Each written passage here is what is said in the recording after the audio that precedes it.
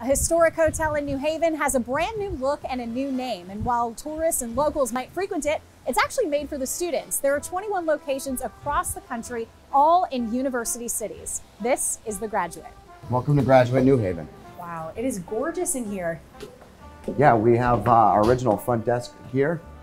It was always stood, and uh, that's our new logo there, as well as the original keyboard here for the hotel. Wow. With all the old original keys.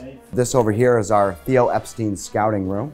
Okay. Um, it's books filled with sports, uh, as well as some photographs of, of Theo Epstein, who is a Yale alumni as well. Uh, we have an amazing design team that actually sources it through um, the local community. They'll come out and they went through thrift stores and antique shops and found all of this great stuff. So, something that's always been on my bucket list and I've wished for is a pizza payphone, and that's actually a thing here.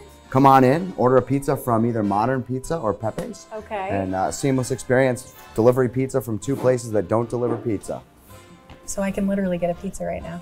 So when you walk into the old Heidelberg, it'll be hard to miss these tables. There are so many etched in names and maybe old sayings, inside jokes. This is something that you really wanted to preserve when you guys were opening this, right? Yeah, it was uh, one of the most unique things that we found preserved in the back. We were able to pull them out, add a couple new touches to them, and, and preserve these awesome history. So, But you got a story for me about this plaque in the middle here. well, this, the story that I've been told about this gentleman is um, a group of guys who used to drink here at the hotel. Yeah. And uh, they went home, or the guy died. They came back, memorialized him, had a beer, and put down the plaque. They went up to say cheers, and, and next thing you know, the, who walks in but this gentleman here? He wasn't dead. was not dead the whole time. So, well, it's really uh, unique because the building is actually from 1894.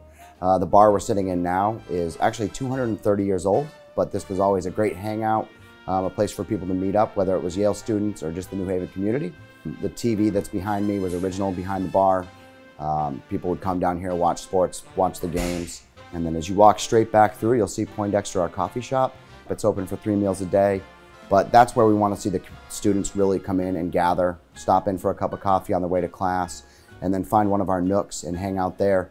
Um, we want to see people spending their entire day working in our lobby and, and just spending time with their friends and becoming a part of our property as well. It was a great opportunity to take a wonderful piece of New Haven history and restore it back to its original state. We want them to see us as a, a positive piece of the community, recognize that we're not just a hotel, that we're a place um, to, to hang out with your friends and really have a great experience.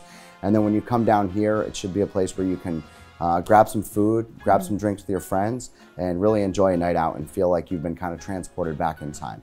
Every day, 4 to 7, we are doing happy hour. We're doing $3 PBRs. We're going to do a $5 cocktail special and $20 bottles of wine. So it's hard to miss that sign. Can you Yeah. tell me what it means? I don't want to tell anybody what it means because I think it's a, a pretty good secret.